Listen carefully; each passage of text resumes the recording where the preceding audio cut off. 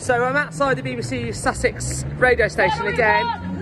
We still are cuts. I reassured the unions that we need to keep going on strike. Fiona, I emailed, um, is it Tim Davis? No reply, but I'm still going to support so well, thank you very much for emailing. Yes, it's the Director General Tim Davie, and we're asking people to email him to tell him that they want their local radio to stay local.